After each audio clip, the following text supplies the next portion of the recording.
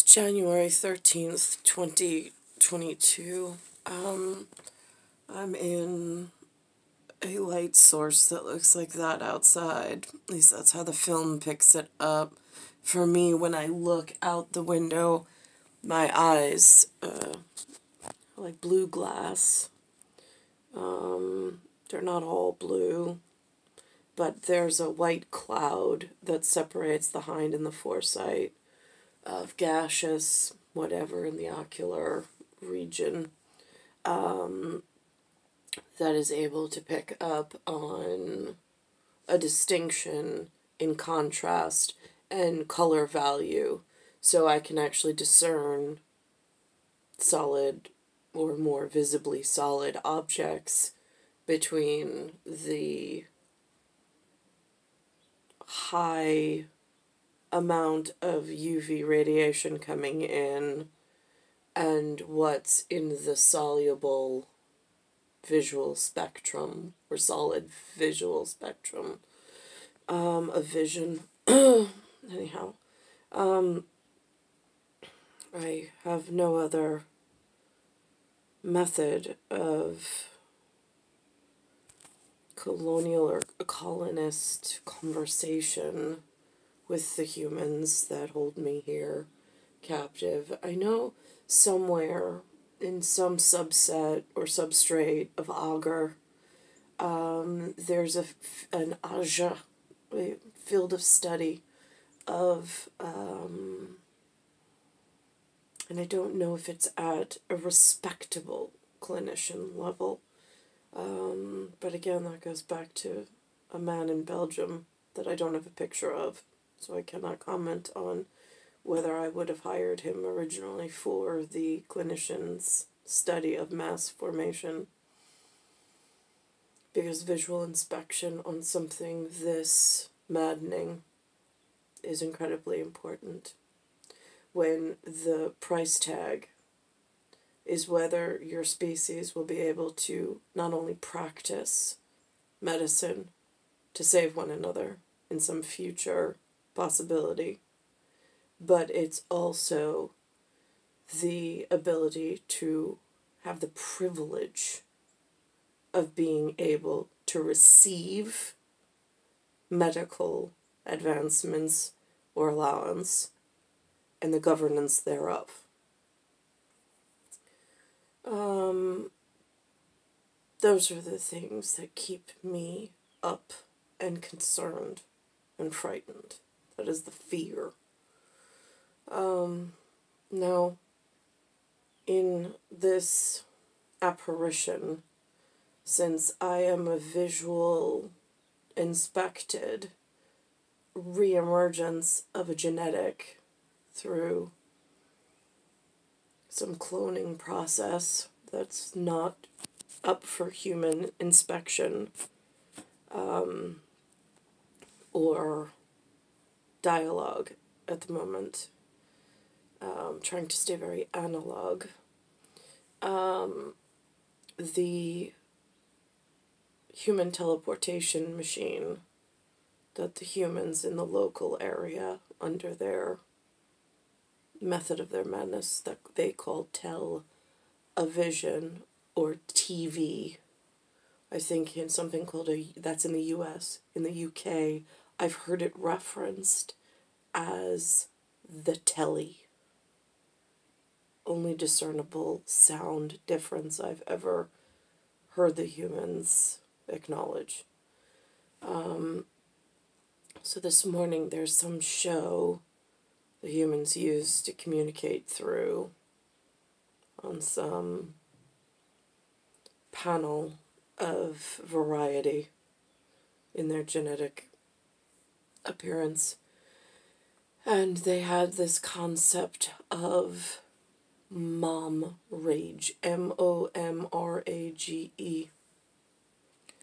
The only commonality for me with those two words is I really I don't have one. Um, the veil between where I was in cosmic stability and where I am currently in cosmic instability, that veil was pierced and broken, and somehow I was forced through a conduit, a genetic, I mean, I call it a Copenhagen Scandinavian genome copy machine, which currently has a label of Linda. And I was forced into this acclimate and climate and time differential in like a twilight zone way of explaining the unexplainable. Because my visual genetic uh, interpretation was found throughout a different section of the world in marble picture sta- uh, statue that was made in an artwork collection of importance.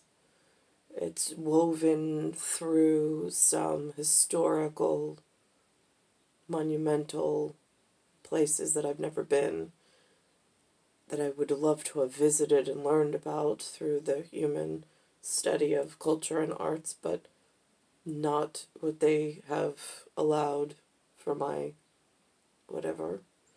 Um, so, coming through the conduit named Linda, um, my appearance.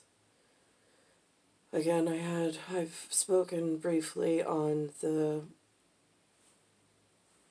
captive audience I was as a youth, but um, waiting for the one who promised that I belonged to him to come back from his one family member myself, and I'm still in waiting um, for permanent whatever. Um, and in the time that I've been forced to spend amongst this subset of humans or this catalog of humans of variable identity, and I don't know how they got here, or who they are, or where they came from, or whatever they brought into this. I have no idea. Totally disengaged. Quantumly, by quantum length, and by quark, and regulations, and other things. Um, so, by star matters. Um, so their mom rage is I have a story with another that I'm, I mean, we call it eternal flame. That every time we apparate together or are called into whatever, he and I are to be held together because we are one, but in two as one. So I did not agree to be held separate from he. This seems like, mm, for me, a clinicianal nightmare of something they call scientific method with a control, and I'd be the controlled substance, which is a problem because I did not agree to it. Um, and this is not biomedically, ethically a good idea ever. Um, but there is formula that would lead to same conclusion before dragging me through this direction.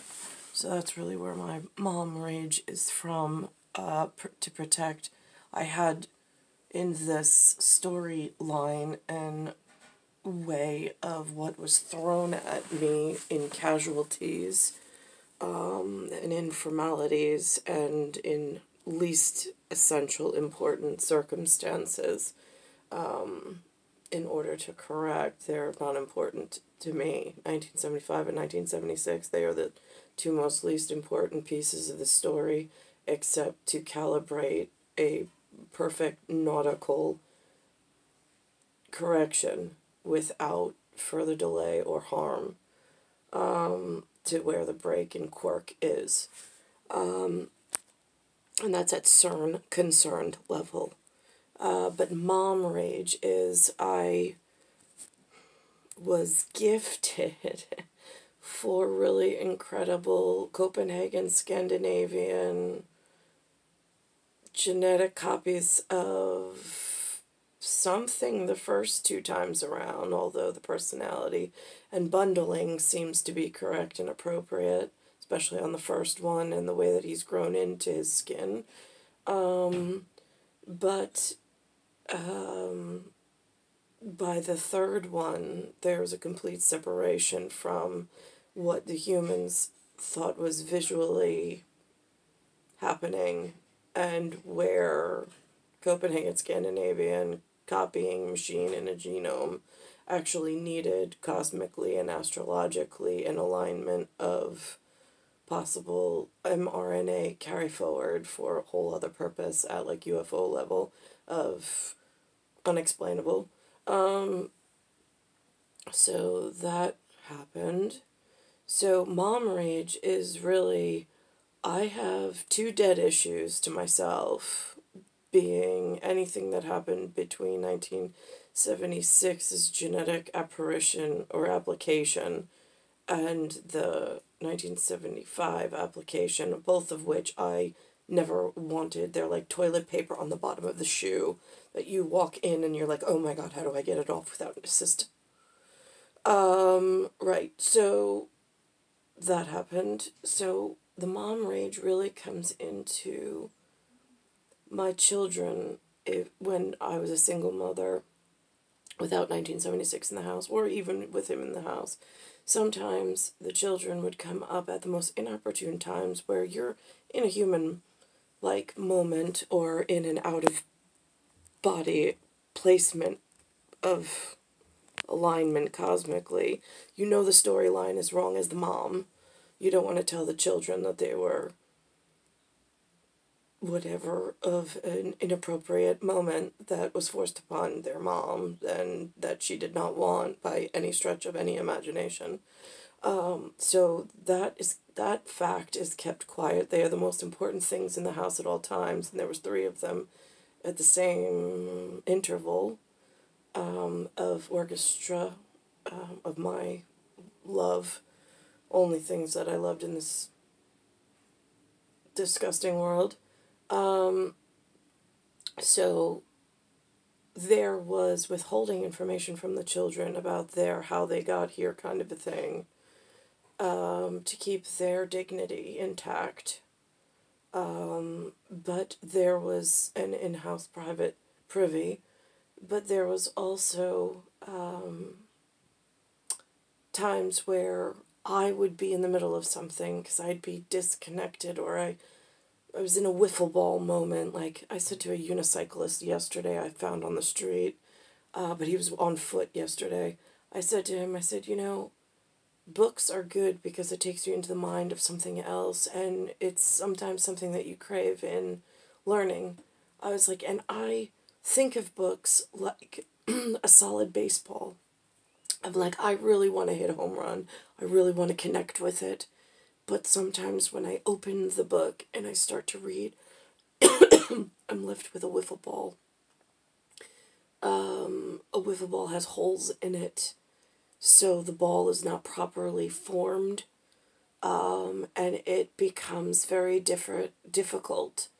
Um, sometimes you have to reread certain passages and then sometimes I could reread them a few times and then have to sit back and go, now why am I unable to connect with this passage?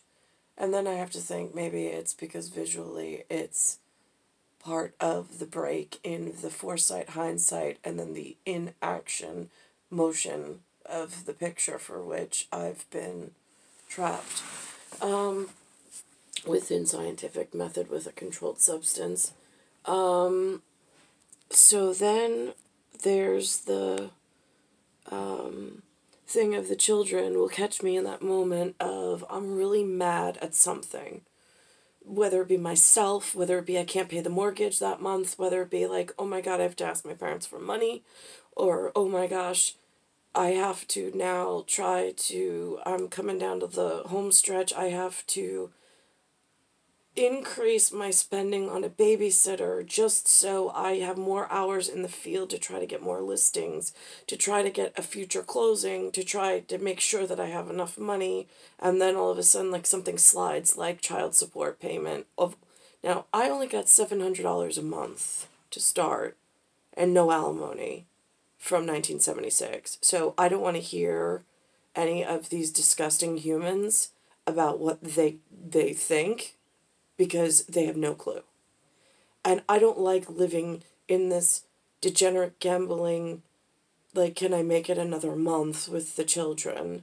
Because the alternative was they go to the rapist, and that was not going to happen. So now I had three children that sometimes the adult world would piss me off, where I would be not cursing, because I don't curse in front of the children ever until Tia Frio 1975 came along. That's a whole nother story. Um, of garbage and sewage coming out of every orifice. But um, I when it was just me and the children, and either Diana was with us, or Anna was with us, or Liz Thompson was with us, but they were not uh, live in. They just came for the day and helped me out. Um, when I was in that home stretch with just the children, I would get angry and sometimes they in an inopportune moment would seek out my attention. And i would say to them i am angry. Not at you but the way that you're finding me i am angry at something a mom thing. I was like so i'm going to listen and i'm going to try to help you but if i lose my temper or i'm short for a moment please know i love you more than anything and it's not you, it's me that's angry. And I'm just trying to snap out of it. And they would look at me because they would have no clue what I was talking about. But their little machines are always recording. And I wanted to distinguish the difference between my anger for the rest of the world and being forced into this disgusting situation and my love for them which is two totally separate issues. So that's where mom rage is. I'm not angry at my children, for I don't feel they dragged me into this dissection. I do feel that there was a major break in the machine before I arrived. I confirmed it by my arrival and the violent nature of my being pushed into this world and formula, however astrological and cosmological works in a moving apparition and piercing a veil between the safety unit and insta- in- unstable or instability unit. But here we are. It is Earth, solar system, Milky Way, universe, galaxy is broken star 1978, star 8378, Nicole Cattaruzza, and it is Bayside Station, Bayside, New York, 11361. So when you speak of mom rage, the first and only thing that comes to mind is as a mother, I am incredibly angry at my current cinematic appearance of how I was dressed and looked and and then there's neglect and whatever by the human species and some others that were supposed to protect the reemergence of certain whatever if we get pulled through the veil incorrectly in the formula. We are supposed to be treated completely different than whatever and whatever whatever whatever. But it has become a real problem with being able to get the humans to perform the way I need in allowance and how they've actually acted, and then to turn upon oneself in this whatever scientific method with a controlled substance, perhaps, for them to turn on the controlled substance and then make some other storyline, some other excuse, some other way to explain to themselves their own crooked ways. It is very difficult to keep one's safety, sanity, and and dignity all intact when you have three, which was enough of a burden, but a whatever that was placed upon you, and then to have another tale grow with some other disgusting version of humanity, which is 1975. The first one was enough of a disgusting disgrace. I did not need a second tale to be formulated and to be sewed on or in to this disgusting whatever. But here we are, and then a fourth child comes. And then it's the raising of a single child as opposed to the raising of three in an interval that is like a melodic. I mean, they're just so amazing. I'm so in love with them. Um, but this is the sickness and the madness of humanity for which I have been trying not to quantumly entangle too deeply in I know that the quirk is off. I know this is a quirky situation. Star 1978, Star 8378, Nicole Cattaruzza, Earth, Solar System, Milky Way, Universe, Galaxies, Broken.